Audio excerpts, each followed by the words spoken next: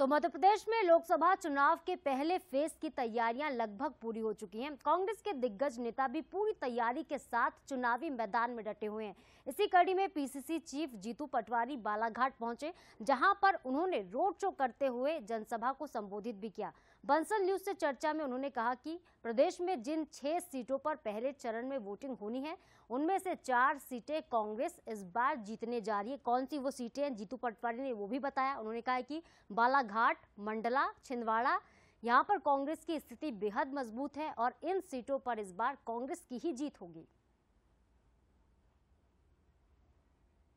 Balaghat specific अगर यहाँ की मैं बात करूँ तो हमने देखा चार महीने पहले जब विधानसभा के इलेक्शन हुए तो छह में से चार सीटें कांग्रेस ने जीती थी। खुद यहाँ पे कांग्रेस विधायक बैठी हैं जो एक बड़े मार्जिन से जीती थी। उसके बाद कांग्रेस ने इस बार एक फिर आ, फ्रेश चेहरा दिया है सम्राट सरसवार के रूप में।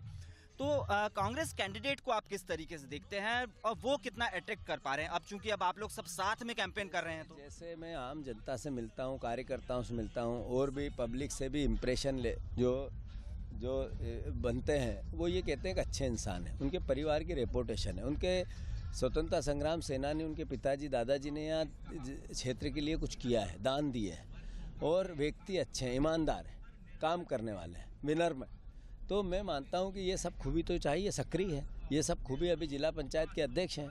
सब नेताओं ने एक साथ एकजुटता से उनके लिए टिकट की मांग की। मतलब कांग्रेस पार्टी एकजुट थी। तो ये सब मापदंड ये बताते हैं कि उनके जीतने के लक्षण ज़्यादा है। आ, मैं पहले दौर में जो जिन कॉन्स्टिटेंसीज में वोटिंग होने वाली है उसकी बात करूँगा चाहे बालाघाट है मंडला छिंदवाड़ा जबलपुर सीधी शहडोल। कमोबेश आप सभी क्षेत्रों में तो चले गए होंगे। कैसा रिस्पांस यहाँ की जनता से आपको मिल रहा है? क्योंकि बीजेपी ने भी पूरी ताकत लगा दी। आज पीएम जबलपुर में है परसों बालाघाट में है। पहले दौर की चार सीटें कांग्रेस जीतेगी। जो पहले दौर की वोटिंग होगी